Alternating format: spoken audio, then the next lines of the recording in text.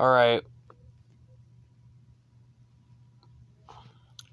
I'm not gonna go in some into some large ramble why the new Thomas sucks complete ass. Cause you all know why. What I do want to explain is to those stupid people out there who are saying, oh, why are you getting so warm? It's just a freaking kid's show. Alright. They like that, watch this and listen to what I have to say.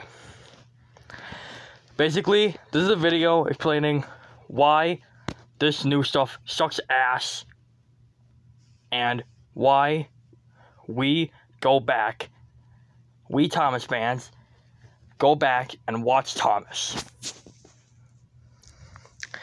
This is unscripted, so if I sound a little, I don't know, stupid in some parts or stuff like that, sorry. But, alright, here we go. First off, reasons why this new Thomas sucks. I'm not gonna go on some large rant. I'm just gonna say why it sucks. It's way too cartoony for Thomas. Like, just look at that. You know, like this doesn't even look like an engine. I mean, don't get me wrong. I don't mind lack of railway realism, but sometimes it gets way too out of freaking hand. Like what they're doing with the show now. I mean, just look at that. He has no freaking side rods or any. I mean, look at that, the fucking whistle. It looks so fucking dumb. It just looks so stupid. The fucking face. Yeah. I know some normie is probably thinking, oh, relax. A little kid might like it if they never seen Thomas before. Okay, that might be true. But what about some little kid that has seen Thomas before? They might look at this and be like, what the actual hell? Like, this just. Why does it look so different compared to the other stuff that I'm used to watching? You know, that's what I imagine a little kid who does know what Thomas is. They would look at this and they would have that reaction. You know? You know what I mean? And one thing, oh, the little kid might like it. Okay, that might be true. But just because a little kid who has never seen Thomas in their life might like it, does not mean that it's good for them or they deserve it. With the classic episodes, like Duncan Gets Spooked, and the ghost story, Rusty Rusty's ghost story, they basically show little kids and engine drown and die. Yeah, it's fucked up. But guess what? It challenges young viewers. It's not like they did it in a way that was graphic or anything.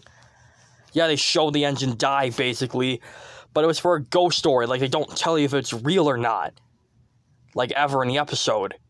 So that challenges young viewers. It makes them feel different emotions. Yeah, Tommy only in the early episodes was mostly lighthearted. But here's the thing. It wasn't always this goofy, wacky, cartoony bullshit that you're seeing right now. It had actual freaking substance to it. Stuff that little kids will like, and as they get older, they might watch an episode and realize something that they didn't notice when they were kids, and they'll like it even more because of that. For example, Cranky Bugs. Um, in that episode, Cranky is uh, asked Thompson Percy, and um, Cranky gets his comeuppance, wants a Topham Hatt, thinks they're the ones that are being assholes and sends them to the shed to think about the way they can improve themselves. And then that night, where Gordon, Duck, James, and Henry at sheds, a boat crashes into the shed, the dock, and Cranky falls. And then Gordon after all the engines got freed, when Cranky was lifted right up again, Gordon was actually the only one to say thank you to Cranky. And in season one, he was very rude when he when Edward held him up the hill. He didn't say thank you at all. He's just like, "Boom, I done it. I did all the fucking work." But in Cranky Bugs, he was like, "Oh, thank you. What would I have done without you?" To Cranky after they lifted all of the shed, and Duck, James, and Henry didn't say thank you at all. Gordon was the only one to say thank you. I mean, I loved that episode when I was a kid. Don't get me wrong, I did, really did. But now that I'm older, I can appreciate that episode more, not because of how entertaining it is, how cool Cranky is as a character, because, you know, he's high up in the sky and he's always getting mad about everything, which makes sense. I mean, who wouldn't be cranky all the time, just stuck up there? But I can also appreciate it for the character development that we see from the characters we already know. That being Gordon in that moment, because it shows that he's a lot more grateful for what he already has, for what he does have. Showing that he's a lot more grateful since the first season, showing that Gordon has actually grown up a lot since the first season, you know, in that episode. He's the only one to actually say thank you to Cranky. And then Edward and Gordon said say thank you at all to Edward after he helped him out. But in Cranky Bugs, the first episode of season five he did, so that shows that he's really grown up since the first season. So yeah. Um alright, I'm thinking. Oh yeah, not only that, but the classic series, which whenever it did go into an unrealistic route with its episodes, it treated them with respect, with so not respect, but maturity and stuff. You know, like it was in a way where it was treated with so much maturity that it didn't feel like a freaking babyish piece of shit. Like Rusty and the Boulder. Like that episode was actually very dark.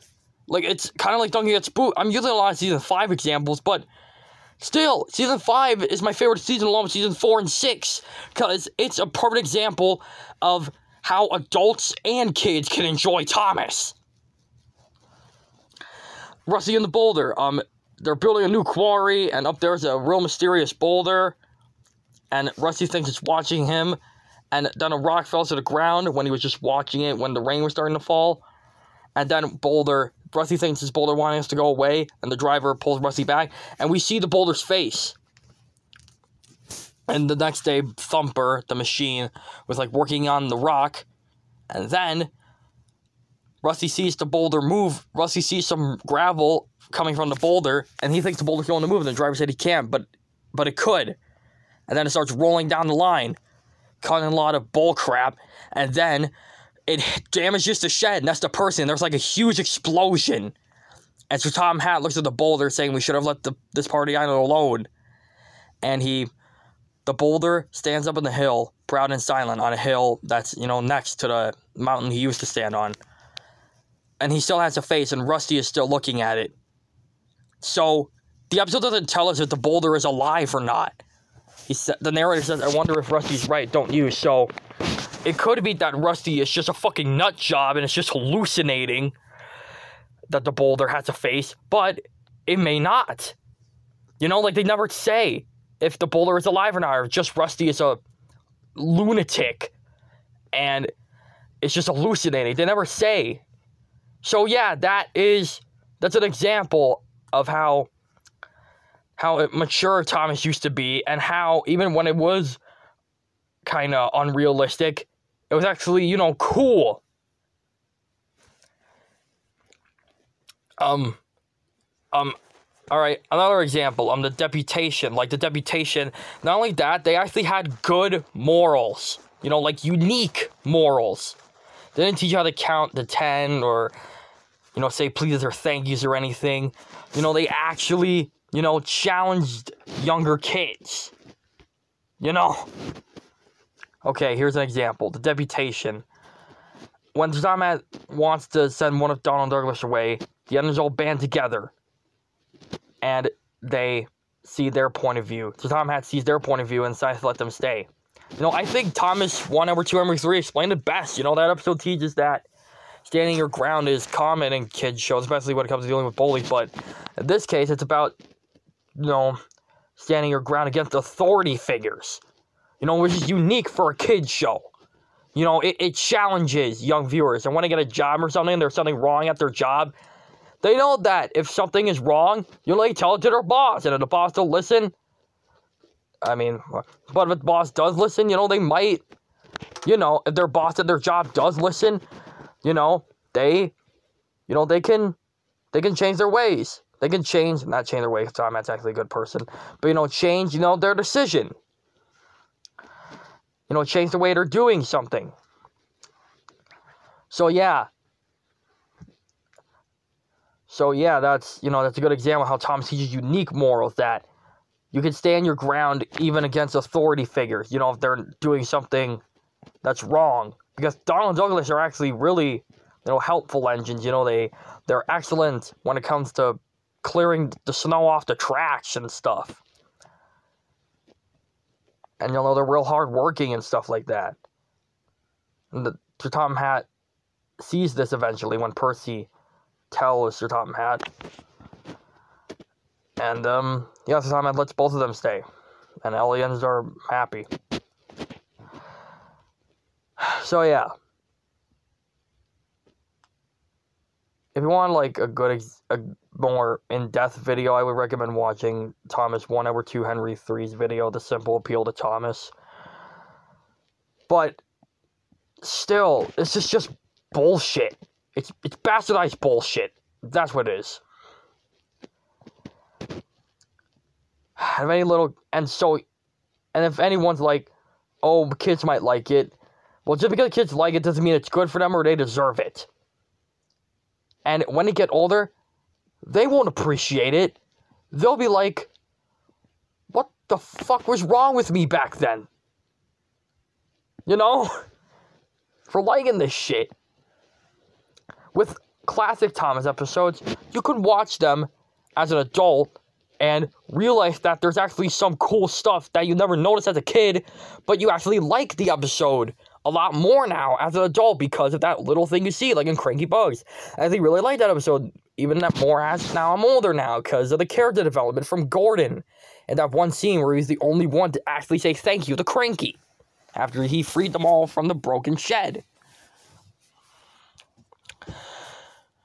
And there's plenty of other examples I can give. Billions of examples I can give with good Thomas episodes where it was more than just a kid show, where you can watch it as a kid and like it, but as an adult you can enjoy it a lot more for one reason or another. Either for the nostalgia or something you didn't notice as a kid, but realized that the episode's even better now because you actually, you know, notice that little cool thing.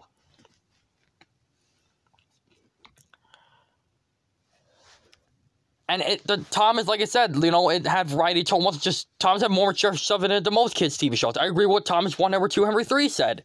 You know, it's more more mature stuff in it than most kids shows even do. And I just don't mean dark stuff like they use big words like dignified, celebrity, and deputation and stuff like that.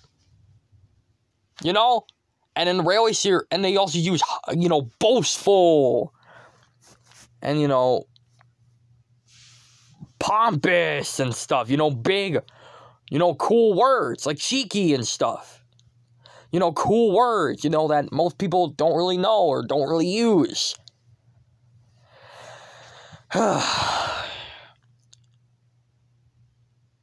Sharon, Sharon Miller era is better than bullshit. Yeah, I said it, but Sharon Miller is better than this. Bro Big Adventures is better than this. The Hit era is better than this. Andrew Brenner, it wasn't as good the Andrew Brenner era, season 17, 18, 19, 20, and 21. Yeah, it wasn't as good the classics uh, by any means, but it was still good. It was still really good. Every time I watch, rewatch a Brenner era episode, I, I I'm blown away by how good it is. Because, you know, it's the same animation as the Big World Big Adventures era and the Sharon Miller era. And it is still really fun to watch. Not as good as the classic episodes, but you get what I mean. Granted, not every episode from that era was good. Same with the classics, but again, you know what I mean.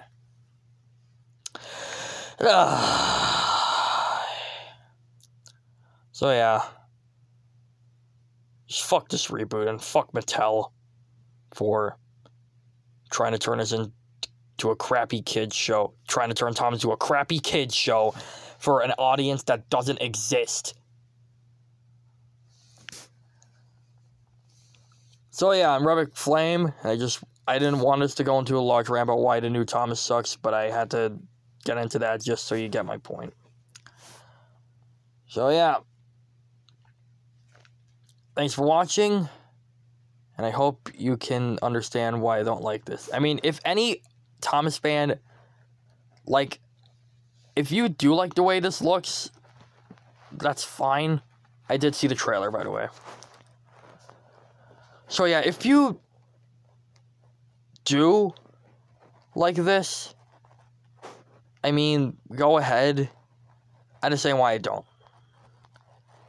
And like I said, if a little kid likes this, it doesn't mean that they deserve it or that it's the best thing ever for them. Because if I want kids of my own, I want them to actually watch good stuff that they can enjoy when they become an adult and they'll look back on it and appreciate it.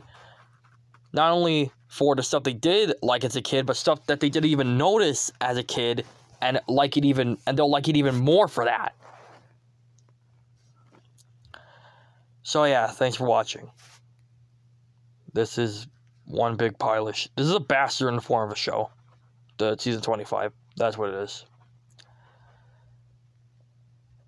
Anyways, thank you for watching, and see you in the next video.